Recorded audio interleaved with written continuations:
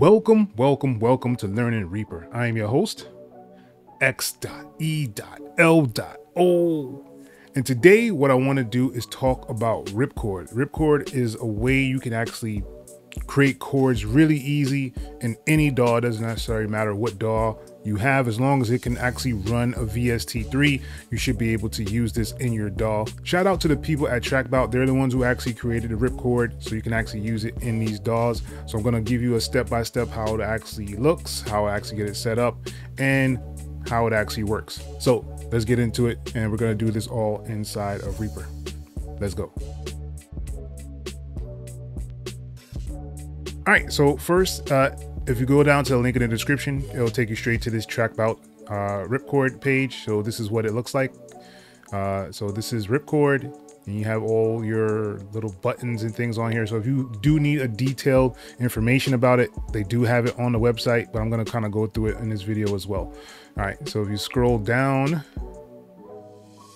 uh, as you see, it'll put it inside of your VST3 folder. So if you're on a Mac or if you're even on Windows, it'll go to your VST3 folder. Makes it a whole lot easier to uh, to do this. So if you actually need to do it for Windows, you actually put it in your VST3 folder, usually found in your common area when you're going through your files.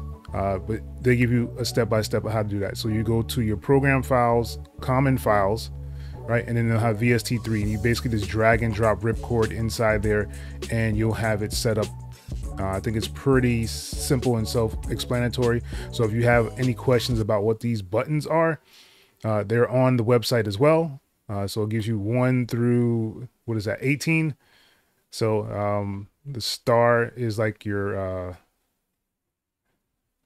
your stars, your favorites. They actually have favorites now um, with the newer version your settings, power, um, option to record. This is for left or right when you're actually doing your velocity. So if you have like a velocity sensitivity on, that's what this is, this velocity sensitivity, you'll be able to kind of do that um, really easy in here. Uh, and you could go left or right. So basically it's letting you know you can go left or right, or you can do both and they'll kind of just alternate them uh, as well right? So these are how you move like uh, transport uh, transients, kind of up and down.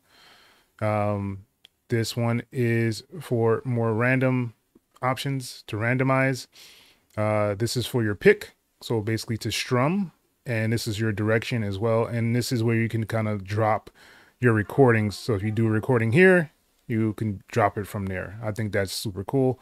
Uh, they have the keyboard here laid out, and you usually see blue keys and things like that. Um, your play and edit modes, uh, your different uh, sections where you can actually choose different presets, and you have presets here as well. So I'm kind of going to go through those as well. Uh, and this is basically you setting it up your own kind of chord. So you can name the chord whatever you want to name it. Um, and you can go, you know, left or right or up or down inside of your transpose. So you can transpose up or down um, and kind of lock it in here as well. And you could basically just put in whatever input you want and then you can name it and it'll save the preset here. I think that's super, super cool that they have that in here. So these are some of the things that they just added in here inside of RipChord where you can actually have like um different scales that you can actually put up here and kind of just add them to different keys. So it's, I think that's super, super cool that they did that in here now. So you can kind of search that way. Um, basically have like tags on your progressions. Uh, it'll make it a lot easier for you to actually create that way as well. So that's some of the newer things that they added in there.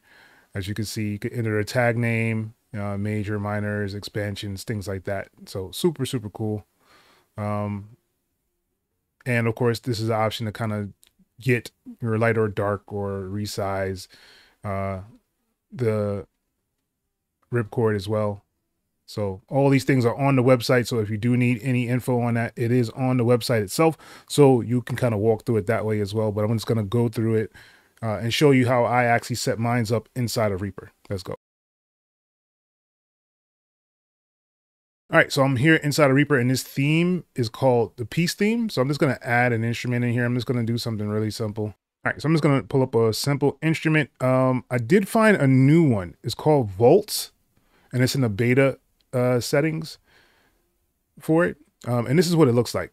So this is a super simple, easy to use VST. Um, I'll try to link it below in the description if I can remember. So it basically gives you like uh option for a piano and you have strings, like a celestial tone, some shimmer guitar, a chorus synth, and uh, studio drums. So all this is included with Vaults, and they're adding stuff uh, all the time to it. So I think it's really cool.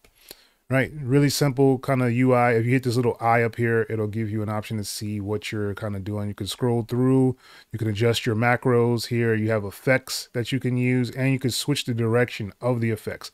So if you wanted your effects to go from uh, right to left or from left to right, you have it right here where you could do that by hitting this button.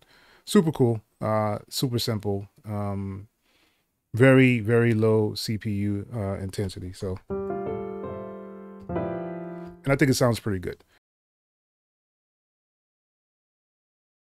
So uh, with that being said let's kind of get started here. So there are several ways to kind of set up RipChord. So i'm going to make a uh, midi item right? So i'm gonna close this uh, I have the midi item set up. So usually if you're going to use any kind of VST, you want to make sure it's before the actual instrument. So if I go in here and I find RipChord, right, and I add that on here. So you want to make sure the RipChord is before the VST, right? So make sure it's before. This is one way to do it. I don't do it this way, but it's just another way if you want to just have like the one key show up on your piano roll. Um, or if you want the chords, I'm going to show you a way to show all the chords as well. All right. So with this system, uh, we're in RipChord. I have the dark mode set. You have an option for your starred uh, stuff. If you have anything starred, it'll show up. Uh, I actually don't star anything. I don't know why. Just I don't think I just haven't. Uh, you go to your settings and it'll bring you here. You could start a new preset. Um, you can import MIDI files, which is super, super dope. So let's say you do have some, um, let's just say Cymatics, right? So Cymatics has some MIDI packs that they have. You can drag and drop those MIDI files inside of RipChord. Uh, really, really easy to do. Um, so if I hit on import, all right, so I'm going into Unison. Unison actually had some uh, like the, the MIDI chord pack. So they have a whole bunch of different ones. So let's say chords and melodies, right? So these two are in here. So I can actually add these in there, hit on this, right? And it's telling me what the chords are and I can hit open and boom. So those files are in here now. So this is how easy it is to actually do this inside of RipChord. So uh, if you do have any MIDI files, you can just kind of drag them in there and it'll actually load up inside of RipChord and separate them by the keys. Right. And if you wanted to edit these, you can go to right here to where it says edit and it'll give you an option to click on the keys and you can edit and add uh, or take away if you wanted to. Uh, and basically just hit on this to download it to make it go to this key. Right. And you can always like uh, go up or down right? Move it over.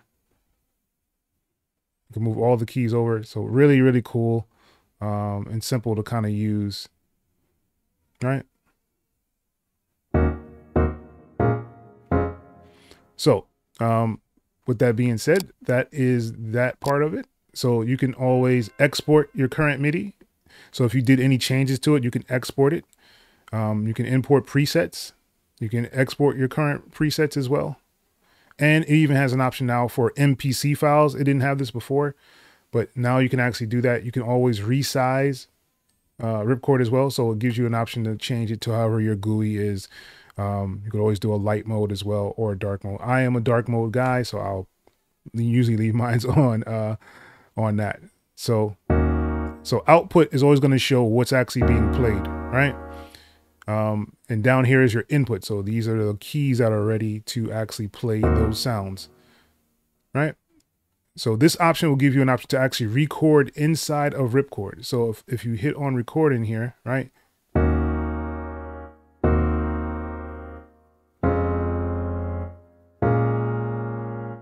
Right, and I stop recording.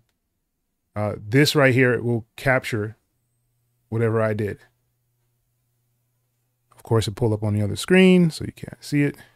And it pops up with this, and it says adjust media based uh, on the tempo. And I can hit OK. Boom. And it actually created a whole RipChord file right here. So these are the notes that I played, and it's putting it in the timing of the tempo of the, the track. Uh, I think that's super, super cool. It's something that you can do. You don't have to do it. Uh, but it's one way to actually get the chords out if you want to just record some stuff and then have it for later on. Um, it's not necessarily how I use it, but uh, it is an option that you do have, right? All right. So, um, so going through here, this is your vo volume. So uh, this will change the volume.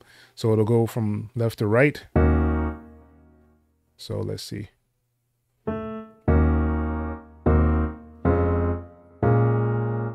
So they'll give you different velocities. And this one will actually randomize those velocities.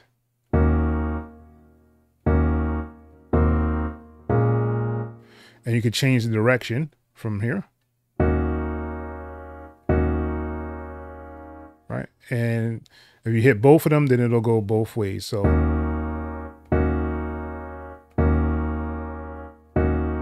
so you'll hear it a little bit different. And these are really cool to actually have uh, inside here.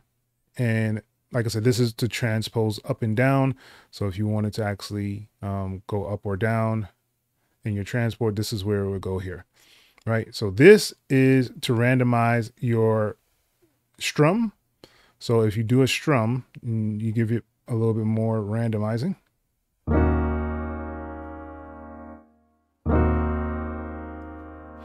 So this is this is to give you the, the more human feel with this one.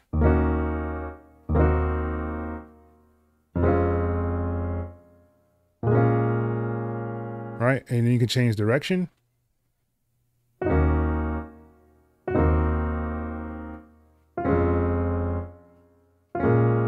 You see, it starts from here and then goes that way. And you can have it go both ways. So it'll switch sides. As you see, it'll go this way and then that way. So really, really cool stuff that they uh, actually have inside of RipChord.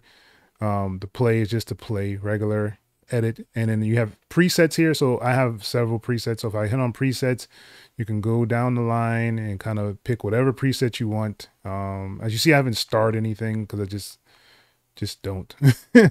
but uh, you do have that option to star you whatever you want to uh, star. Um, and also now you have the option to add like uh, tags to your stuff. And you can even search for your presets here. Um, so really, really cool. And keyboards will bring you back out to keyboards. So that's pretty much the final kind of layout of RipChord. So let's say we wanted to use it to uh, make something. So we just use these simple keys here.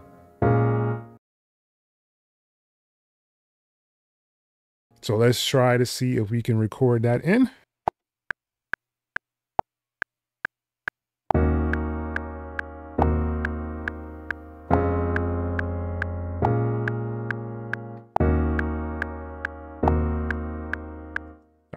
So now as you see, I'm gonna pull this up inside of the MIDI editor so you guys can kind of see it a little bit bigger, right? So as you see, it only has the one note, but it is actually playing chords with this just one note. And then you can always, you know, kind of uh, quantize these.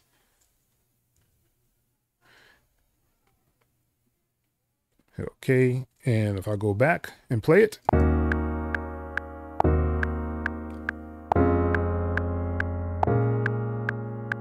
So really, really cool. Um, and with this option here, it gives you, um, I can do a strum on here, right?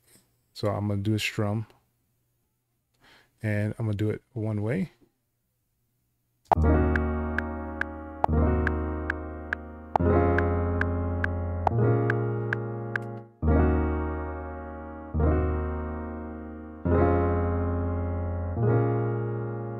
Right, so this gives you an option to kind of play around with the notes and keys. Um, with just one single note being played, right? But uh, this is not the way I usually like to do it. I usually like to kind of um, set everything up myself a little bit different. So what I want to do is actually use the same exact RipChord. So in Reaper, you can actually drag and drop stuff. So I'm going to grab this here, grab this RipChord, and I'm going to drag it over here to this says MIDI all and this effects here. So I'm to grab it and drag it there. So now I have an input effect. Um, this is really, really cool. Uh, one of the things I really like about Reaper is that you can have input effects. So basically whatever I do in here, it'll actually show inside of the MIDI editor. Uh, so all the notes will be actually played out. Uh, so let me show you what I'm talking about. All right, so you're gonna make this one uh, a MIDI item, right? And we're just gonna record that in. And you're gonna see the strums and everything. Let's go.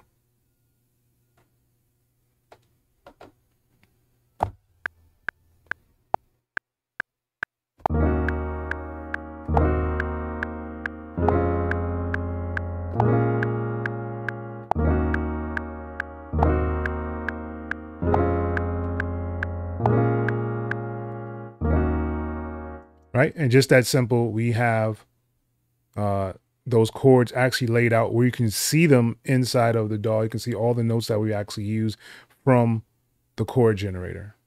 And I think this is what makes it really, really dope for RipChord, especially when you're using Reaper. So if that's something that you guys want to do or use, um, I should have the link below in the description to actually go and download RipChord. And like I said, it is absolutely free. So uh, nothing really to lose everything to gain. Uh, make sure you guys are liking and subscribing to the channel. If you have like any questions or concerns, please leave them below in the comment section of the video. And once again, this is your boy, X.E.L.O. Until next time, people. Peace. Hey, you. Yes, you. YouTube wants you to watch this video next, man. Go ahead and click it. I'll wait. nah, I'm just playing. I'm not going to keep waiting here. All right. I will see you in the next video, though. Peace.